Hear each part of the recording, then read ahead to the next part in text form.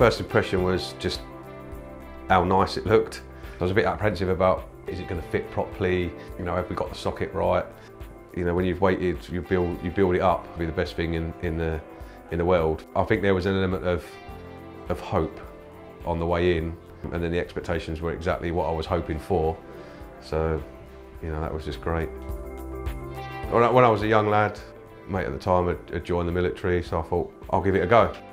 Unfortunately, on, on one of the numerous operational tours that I'd done, I was in Afghanistan in 2008, had a, an incident with a mortar ammunition, 81mm mortar, um, which resulted in me losing my right arm below the elbow.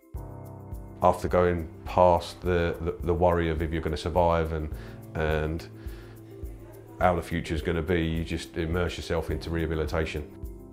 You know, the biggest part of the whole journey was that, you know, I had a, I had a, great career, loved my career in the military. The injury at, at, the point I left was, was no longer an injury, it was just me. You know, I wasn't Daz with one arm, I was just Daz.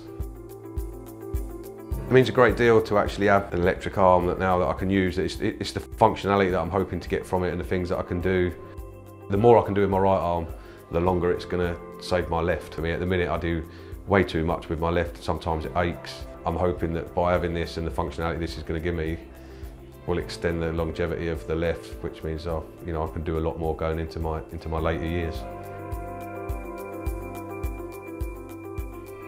I'm relatively confident, you know, without wearing any prosthetic, but it will give me the the confidence to to try things with the prosthetic, whereas before I probably wouldn't even bother to try.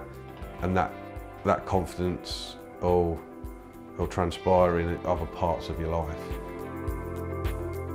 You know, to be the first veteran to, to get one, I mean, it's fantastic, but it, it, it, leads, it leads on to hopefully me being the first of many. That's, that's what I want.